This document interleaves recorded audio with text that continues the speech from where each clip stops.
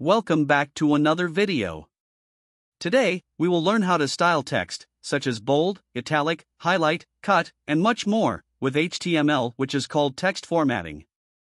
And also discuss lists. Let's start with text formatting. Let's talk about a few useful text formatting tags that you might find interesting. Let's take p tag and write this as the normal text between the opening and closing tags.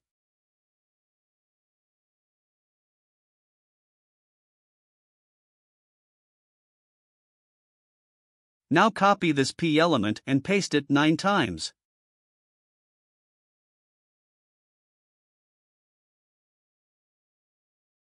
We'll start with the B tag, which is used to make text bold. Simply surround the text you want to make bold with the B opening and closing tags. Next, we have the I tag, which is used for italicizing text. Surround the text you want to make italic with I tags. You can also make text appear bigger or smaller using the big and small tags, respectively. Just enclose the text with the appropriate tags. To small text, you can use the small tag. Surround the text you want to small with the small tags. For subscript the text, we use the sub tag. Surround the text you want to subscript with the sub tags. Next we have sup tag to superscript the text.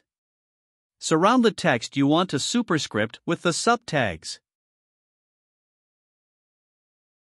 To underline text, you can use the ins tag. Surround the text you want to underline with the ins tags. If you want to strike through text, you can use the del tag. Place the text you want to strike through between the del tags. Lastly, we have the mark tag, which highlights or marks the specified text. Wrap the text you want to mark with the mark tags. Those are a few text formatting tags that you can use in HTML.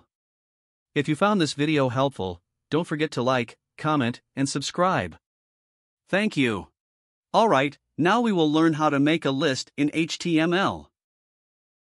There are three types of lists unordered lists, ordered lists, and description lists. For an unordered list, we use the ul tag. Inside the ul tag, we place each list item between li tags. The list items will be displayed with bullet points. For an ordered list, we use the OL tag. Similarly, we place each list item between li tags within the OL tag. The list items will be displayed with numbers or other ordered markers. Lastly, for a description list, we use the DL tag. Inside the DL tag, we use the DT tag to define the term or item, and the DD tag to provide the description or details. Let's start with unordered lists. To create an unordered list, you simply use a pair of ul tags. Within these tags, you can add individual list items using li tags. For example, let's consider a list of items for making a tea. We can list the items such as milk, water, and sugar. Each item is enclosed in li tags to create the list. Additionally, you can create nested lists within a list. For instance, if you want to add a sublist of water to an unordered list item, you can create another unordered list within it. Here's an example Water. Sublist 1. Sublist 2. Sublist 3. In this case, the main list item is water, and it contains a nested list. Next, let's talk about ordered lists. For that, copy this code and paste it for ordered list. Similar to unordered lists, but it has one difference, which is ordered lists use OL tags. Each list item is represented by li tags. By default, the list items are numbered in ascending order. For instance, if we have a to do list, we can use OL and li tags to list the tasks we need to complete, such as HTML, CSS, and JavaScript.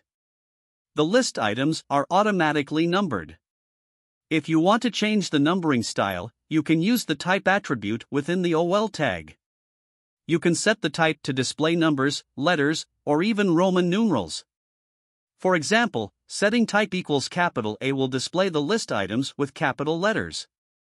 For example, setting type equals small a will display the list items with small letters. Lastly, let's discuss description lists. To create a description list, you use DL tags. Within these tags, you use DT tags to define the term or item, and DD tags to provide the description or details associated with each term. In description lists, we use DT tags for the term and DD tags for the definition. Instead of using li tags, we enclose the term within DT tags and add the corresponding definition between DD tags. For example, let's consider a list of web development languages.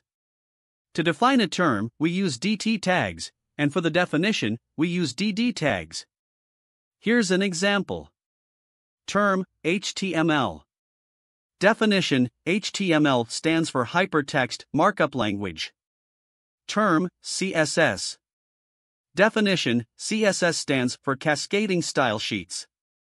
Term JavaScript. Definition JavaScript is used to add functionality.